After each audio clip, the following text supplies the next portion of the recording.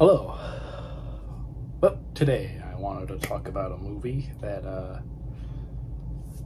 I hadn't seen in uh, quite some time. Um, it's one of those films that is uh, very beloved. It's uh, 60 years old this year, and uh, it has a huge ensemble cast, which I will really list off the names uh, at various points, probably early in the video. But anyway, the movie is it's a mad, mad, mad, mad world. Now, this version has uh, two releases.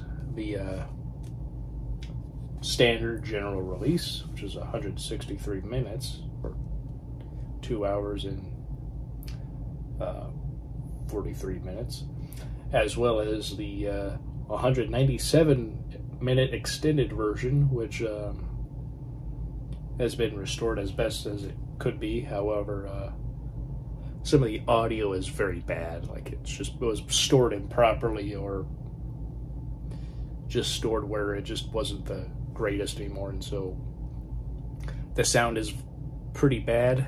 Um, and so they have subtitles up. Uh, that way, you can you know what's being said, even when uh, obviously you can't hear it. Um, and I've seen that before. Um, rewatching this again, I did not rewatch that because well, I kind of wanted to watch the version that I'm used to. Um, this film is directed by Stanley Kramer, who primarily uh, is more familiar with dramas like uh, Judgment at Nuremberg. Um, that's a big one he's known for. Um, he did one with uh, uh, Spencer Tracy. Um, oh, the name is just escaping me now, and I, I just saw it earlier, but yeah, yeah, I, it will come to me later, probably right after this video, and so I will uh, probably feel incredibly stupid for it not even being in my mind anymore. I literally looked up some of the other movies because I've seen various uh, films of his before, and the one with Spencer Tracy and Fredric March is completely blanking right now. So it's best I don't even focus on that because, well, then I'll go completely off track. Um, but Spencer Tracy is in this film, plays a uh, captain, a police captain, uh, tracking down all these guys who are uh, looking for uh, a big, uh, like a bunch of money after uh, somebody was driving down the highway or one of those roads that's like along cliffs and they uh, drove off and he ran uh, um, ran his car off the road and a bunch of guys who saw it happen, went down to see what's going on, and he tells them there's all this money, and they can find it at this specific place, and uh, it's under a big W, and so, you know, police get there because well, he was a basically a fugitive, and uh, he's racing there to get to uh, get the money, and so he. Uh, uh, so uh, police radio all that in, and they uh, go and uh,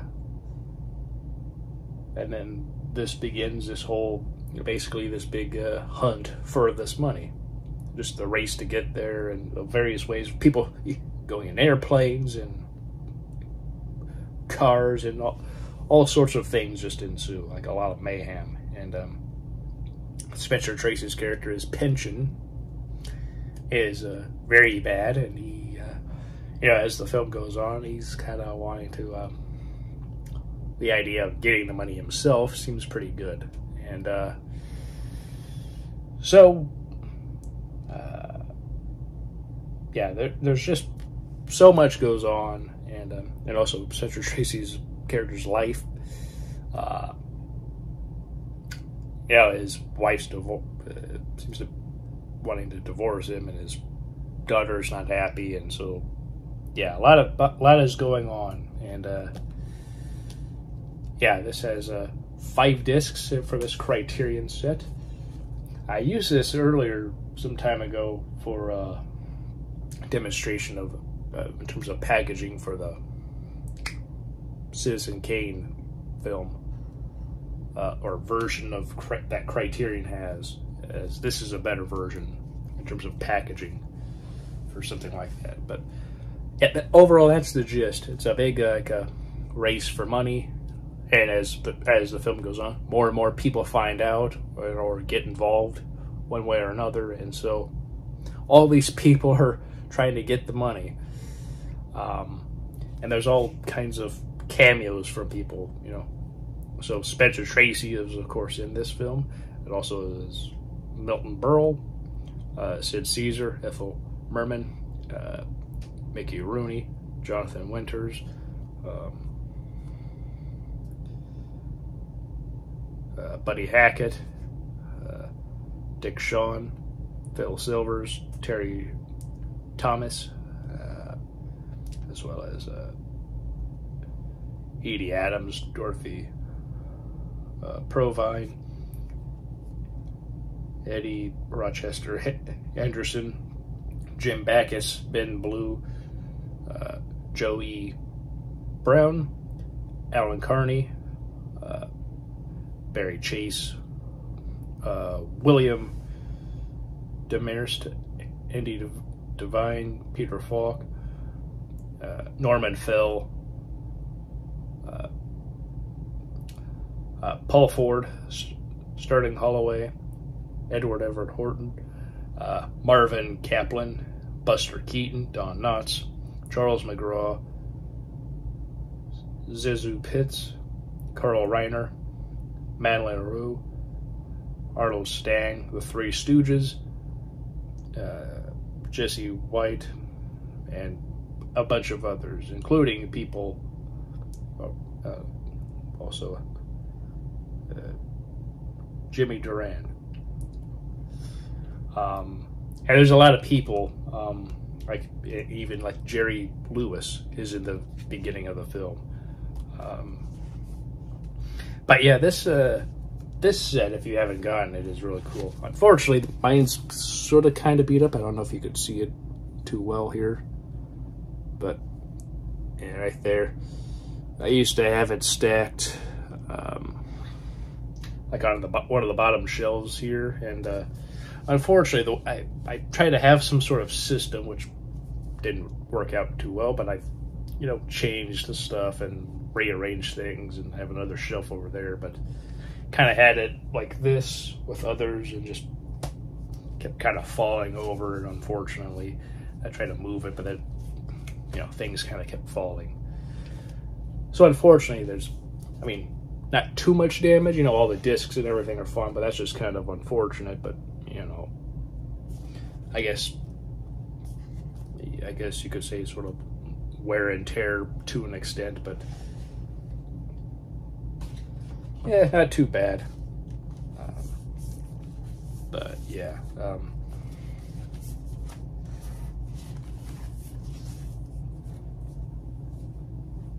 uh, yeah, this is just uh, amazing. Uh, so this is the these are the discs. These are the three DVDs, and there's the two Blu-ray discs. You know, each disc, each of the Blu-ray discs have the film. The first disc has the uh, well, the first discs of the DVDs and the Blu-ray has uh, you know uh, uh, yeah has the general release, so the shorter version of the film, and then the second discs of the DVD and the Blu-ray uh, they have the three-hour version of the film, and then the third disc is all the other uh, special features that the first two discs or the first two DVDs couldn't hold, whereas all the special features are put across on uh, the uh, first two Uh, but yeah, the, on the two Blu-ray discs.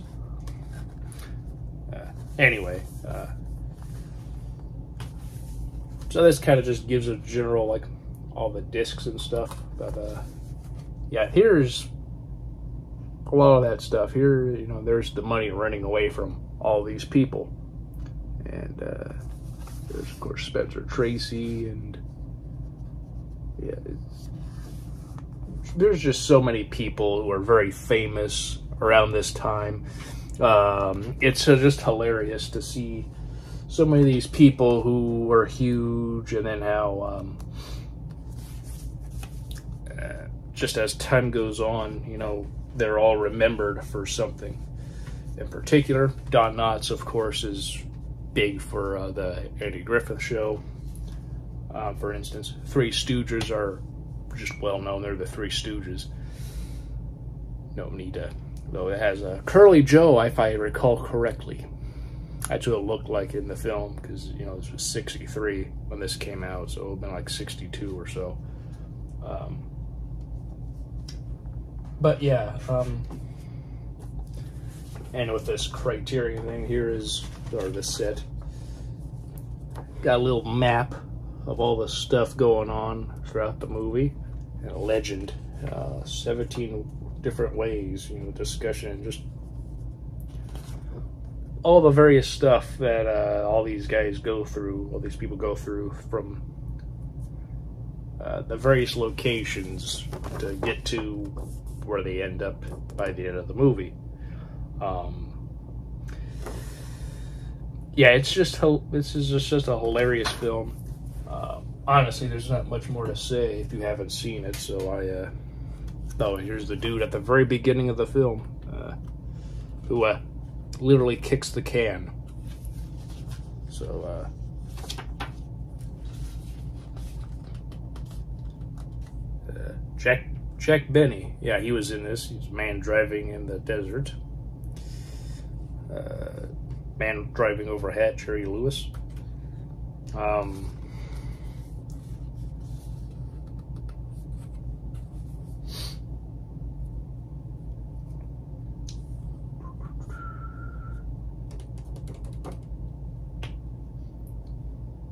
yeah, this is just hilarious. I,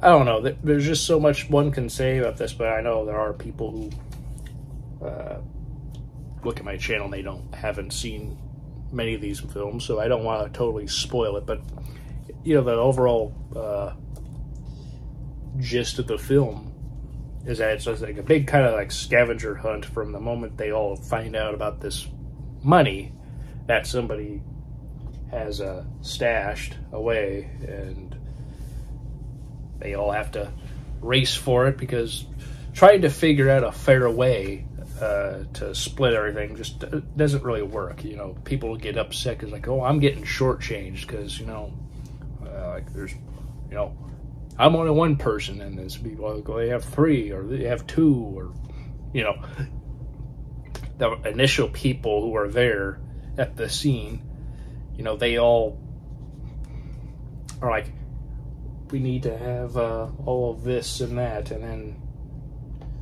like we're gonna try to split it up fairly, and yet it's just not fair to some people. So as the movie goes on, more and more people know about it, and then they just want to try and get it for themselves. Um, if you haven't seen this movie, I think it's one that is definitely worth a watch. Um, I don't know if it's streaming on the Criterion channel. I I would kind of imagine it would be, but whether or not it is, I don't know. That's a kind of a different story. But yeah, this is hilarious. A lot of the special features, like the you know the making of it, like uh, they have a uh, they have a whole bunch of uh, like look backs with uh, some of the cast and uh, crew members uh, from like uh, this. This release is from 2014. I believe there is something for like 2012. Yeah, the last 70 millimeter film festival. You know, as a as the surviving It's a Mad, Mad, Mad, Mad World cast and crew. It was hosted by Billy Crystal. And that's a really good, uh, that's a really cool, uh, uh, little, uh, awesome, uh, sort of like discussion overall. Um, and there's also a two-part episode, uh, a 1963 episode of the TV Telescope, where it follows the press junket and the premiere. So much of this is uh, uh, amazing. I just, I love it. It's hilarious. It's amazing.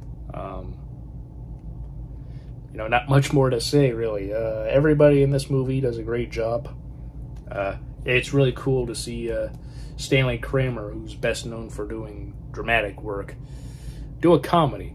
You know, it really shows that he could do something outside of uh, you know comfort zone, which is primarily obviously drama.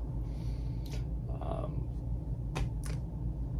and it's uh oh he also made the Defiant ones with Sidney Poitier.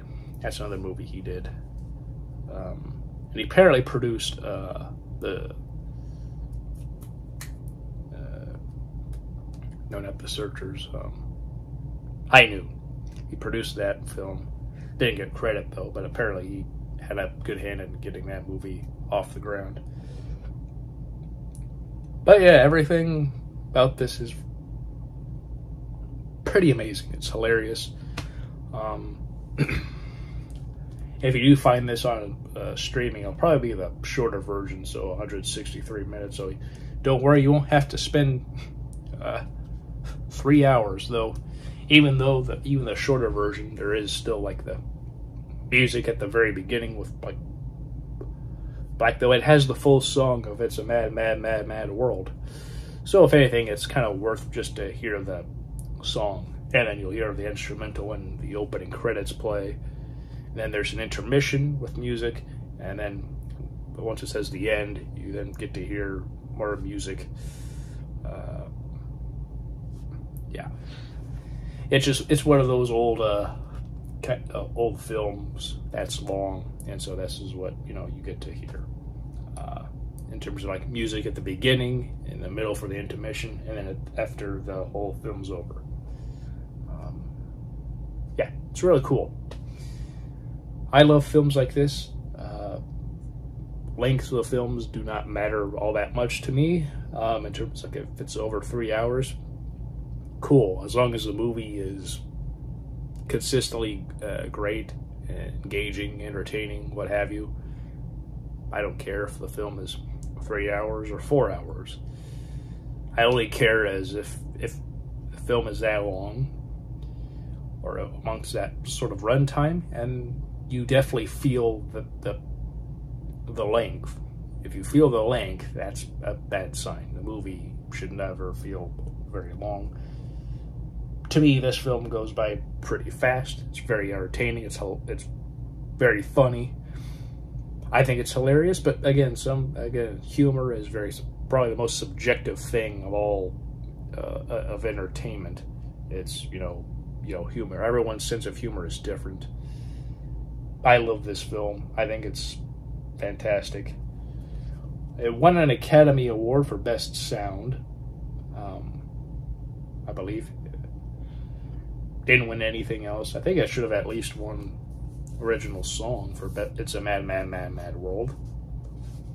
I would think so, but, you know, what do I know? Uh, anyway, this is an excellent film. It's one that's worth watching, and it's one worth talking about. This isn't like, you know, The Last Detail, which I talked about last week. You know, this is a film that is pretty much talked about quite a bit. It's beloved by a lot of people, so while maybe if you haven't seen this movie, you might have heard about it, maybe not. But uh, this definitely has a very long lasting legacy, and I think it's a film that is definitely worth uh, watching if you haven't seen it. At least watch once, whether it's for you or not, that be obviously to be determined. But I enjoy it. I think it's great. Um, and I've heard, and I know that this film has been on DVD and, and various cuts, sometimes shorter than the 163 minute version here, but it kind of goes up and down. Um, I guess for whatever reason, like some versions are just shorter. I don't know why. But anyway, that's my thoughts on this. It's an excellent movie. If you've seen this film, what do you think? Do you enjoy it? Do you not? Uh, yeah, why or why not? Uh, you can uh, leave a comment if you want, or you don't. You can do whatever you want. So, yeah, with that, I will uh, leave you. Hope you all have a great day. Hope you all have a great weekend. Hope your week has been good. And I'll see you all next time. Bye.